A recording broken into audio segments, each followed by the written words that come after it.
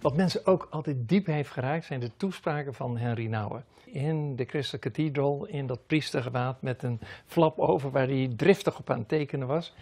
En die drie thema's van waar iedere keer terugkwam, je bent een geliefd kind van God, wat anderen ook over je zeggen, wat je over jezelf denkt, het maakt niet uit.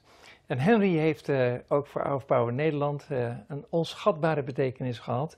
En nog, mijn goede vriend Leo Feijer, hoofd levensbeschouwing en journalistiek bij de NCV KRO. Uh, wij delen onze passie en liefde voor Henry Nouwen. Zeker. Leg jij nou eens vanuit jouw optiek uit waarom Henry nog altijd zo aanspreekt. We hebben de, denk ik de preken al zes keer herhaald in Hour of Power en iedere keer komt er weer een, een golf van reactie. Nou, dat komt omdat hij uh, thema's te sprake brengt die jij en ik en alle mensen die nu kijken in het hart raken.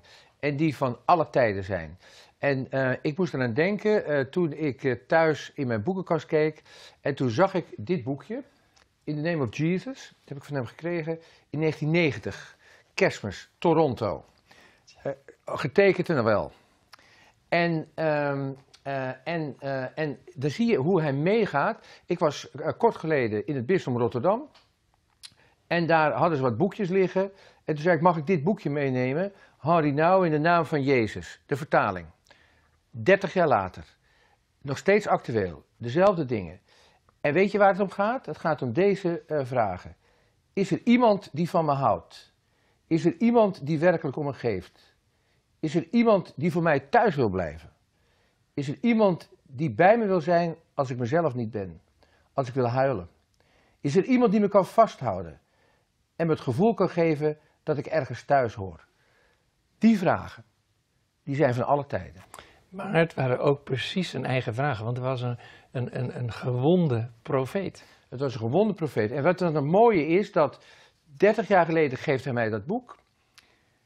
Kort geleden kom ik dat weer op het spoor. Dus in die zin is hij al die tijd bij me gebleven. Ik kijk in mijn boekenkast en dan kom ik deze brief op het spoor. Echt Leo Feijen, Dear Leo. En dan schrijft hij over Bill van Buren, over Adam Arnott, over Ji Vu Lee. Ik kan het niet goed uitspreken, over Greg Lennon. En dan geeft hij vier voorbeelden van liefde, vrede, vreugde en geborgenheid. Daar gaat het om. Het gaat om liefde, vrede in je hart, vreugde en geborgenheid. En dat zijn de woorden, de waarden waar hij van leefde en waar wij allemaal van leven. En we willen thuis zijn bij onszelf en bij God. We willen blij zijn. We willen vrede ervaren. En we willen vooral bemind worden. We willen die liefde ervaren. En hij geeft hier de vier namen van de mensen die later ook allemaal bekend zijn geworden. Met Bill heeft hij dat boekje geschreven in the name of Jesus.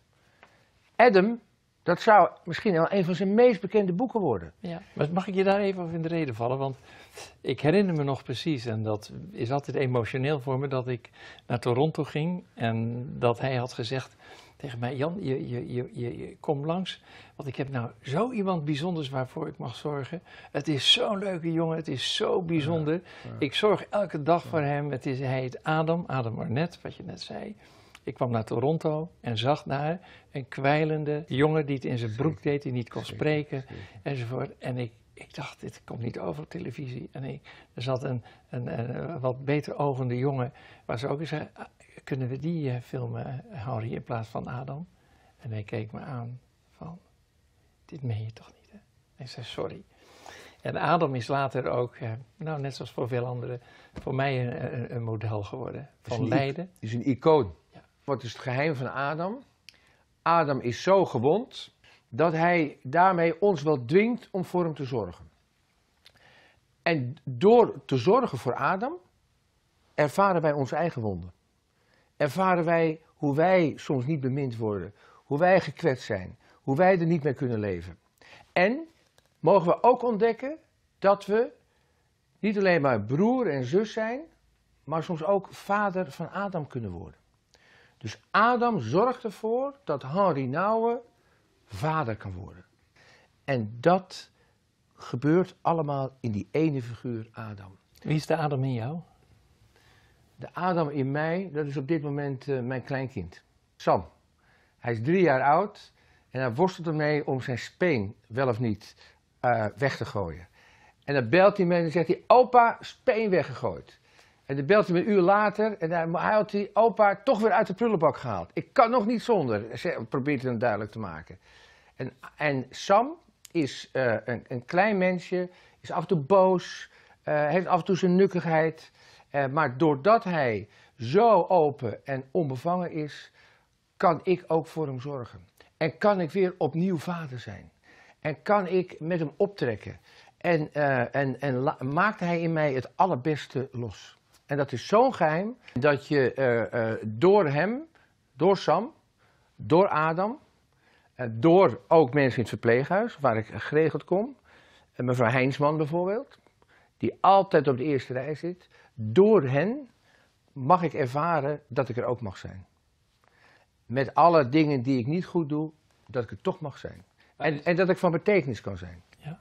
En in die figuur is God zichtbaar. En die trekt mij uit de put van het leven. En omdat er iemand is die voor ons uh, sterft en die ons overstijgt, hebben wij een doel om te leven.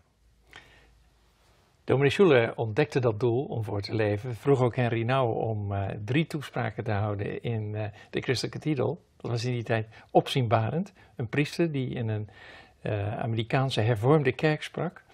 Hij is overigens een paar jaar geleden op Pasen overleden, dominee Schuller. Hoe vond je dat, dat zo'n dominee een, een, een, een priester ontdekte? Uh, of een priester die een dominee ontdekt, uh, is, is, net zo. als, er, als het om het wezen van onze christelijke boodschap gaat, is er geen verschil in de manier waarop wij God herkennen in de ander, waarop we God herkennen in de schepping en waarop wij God herkennen in de naaste die om hulp vraagt. En we hebben elkaar hard nodig om die presentie in onze tijd zichtbaar te maken. En uh, of je dan dominee bent, of je hervormd bent, of je katholiek bent, priester bent, wij, uh, wij verlangen naar de geborgenheid van God, bemind te worden door God. En dat is voor ons allemaal gelijk. Ja. Zullen we nog even kijken naar die historische opname in de Crystal Cathedral? Stukje. Laten we dat doen. Whatever happens, I am the beloved of God. And that is who I am. And that allows me to live in a world that keeps rejecting me or praising me or laughing at me or spitting on me. I am the beloved. Not because people say I'm great, but because I am the beloved even before I was born. And dear friends, if there's anything anything. And I want you to hear this morning is that what is said of Jesus is said of you. You have to hear that you are the beloved daughter and son of God. And to hear it not here, but right here. To hear it so that your whole life can be turned around. Een bijzondere boodschap. Ja, en wat ik dan ook mooi vind is dat uh, als je daar nu naar kijkt, dan zou, is dat bijna al geen televisie meer van 2018. En toch maakt dat niets uit. Ja. Omdat het de woorden zijn die door alles heen breken.